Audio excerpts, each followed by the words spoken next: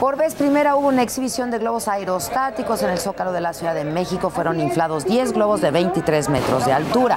El secretario de Turismo capitalino Alejandro Rojas dijo que uno de los objetivos es impulsar el turismo alternativo y que la gente conozca desde las alturas, dijo, zonas como Xochimilco y el Ajusco.